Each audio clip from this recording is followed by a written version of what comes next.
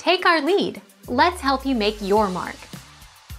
Our goal is your satisfaction. Let us show you the way. It's not always easy to tell if someone has blocked you on Snapchat, since you won't receive any sort of notification.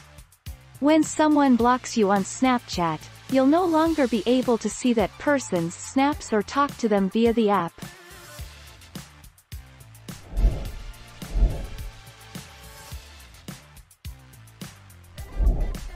Take our lead.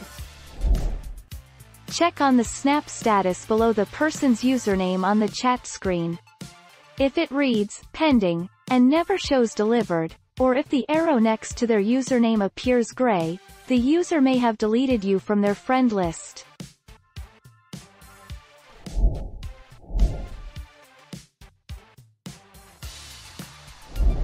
Take our lead. Let's help you make your mark.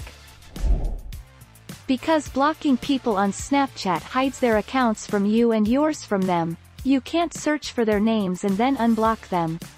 Instead, you'll have to access your list of blocked users from the Snapchat settings. After you unblock someone, their username disappears from your blocked list.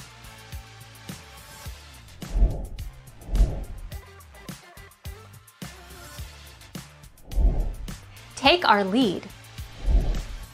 If I block and unblock someone on Snapchat, will we still have our streak? If you have blocked someone on your Snapchat and if their settings say that only their friends can contact them, you will not be able to see the streak anymore as you no longer seem to be there on their friends list. Thank you for watching. Please subscribe and hit the bell notification.